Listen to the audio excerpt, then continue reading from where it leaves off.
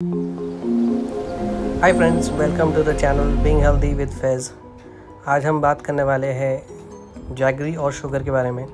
Jaggery यानी गुड़। तो गुड़ के क्या बेनिफिट है? एक तो सबसे बड़ा बेनिफिट है कि वो ब्रीदिंग अगर प्रॉब्लम है किसी को तो उसके अंदर वो बहुत अच्छा काम करता है। दूसरा, आपका अगर किसी को एलर्जी है तो उसमें भी बहुत अच्छा काम करता है। और रेस्पिरेटरी जो मसल्स हैं, उसको रिलैक्स करता है। दूसरा जो भी बॉडी में टॉक्सिन्स रहते हैं, उसको वो निकालता है।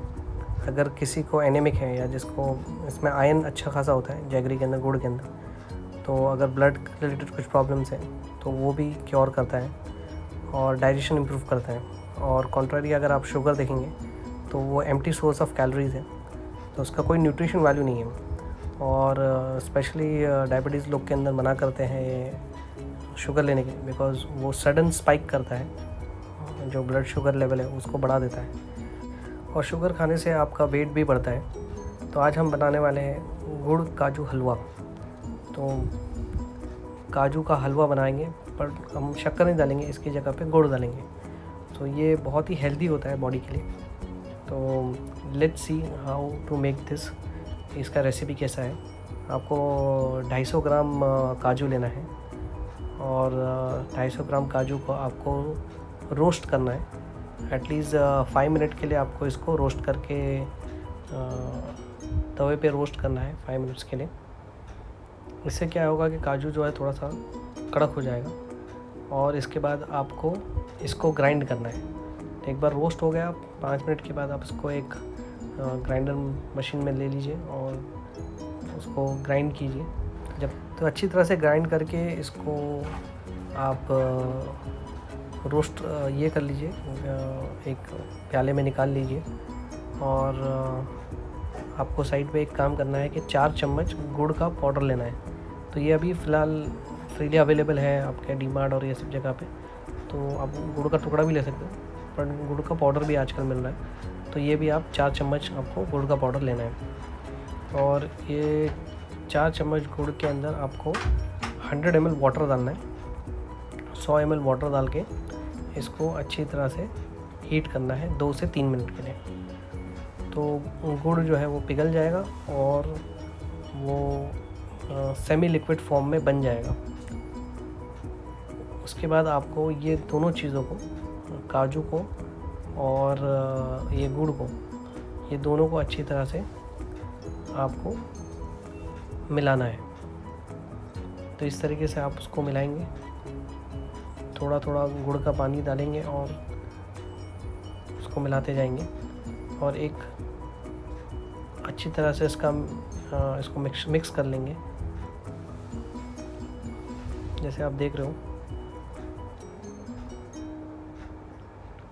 तो इस तरीके से आप मिक्स कर लीजिए इसको। और मिक्स करने के बाद आप इसको एक प्लेट के अंदर ऑयल लगा के उसको ऑयल या बटर लगा के उसको अच्छी तरीके से प्लेस कर दीजिए।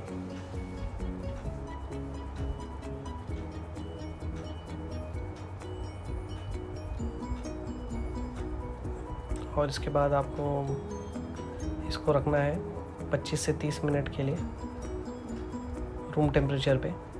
तो ये अच्छी तरह से जम जा, जम जाएगा। और बाद में इसको आप कटिंग करके और सर्व कर सकते हो। काजू में ऑलरेडी ऑयल रहता है तो आपको इसमें घी वगैरह डालने की ज़रूरत नहीं पड़ती है। तो तो एक healthy kaju halwa is ready for you तो ये आप अपने घर में बना सकते हैं, आप बच्चे को भी दे सकते हैं, आप खुद भी खा सकते हो। एंड आप शुगर को अवॉइड कर सकते हो। सबसे इम्पोर्टेंट चीज़ है कि शुगर को अवॉइड करना चाहिए।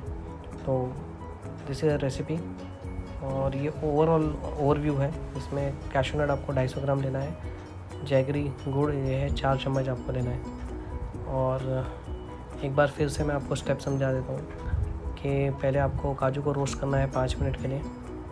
फिर उसके बाद उसको ग्राइंडर में डाल के ग्राइंड करना है।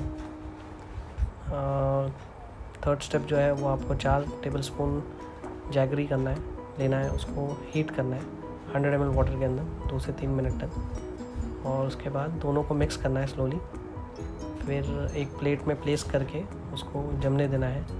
और ये टोटल प्रोसेस जो है वो आपको 45 मिनट्स के अंदर ये सो so 45 मिनट्स में ये रेडी हो जाता है। एंड रेड्यूस सर्व है आप खा सकते हो। और stay healthy stay fit stay alive and stay home take care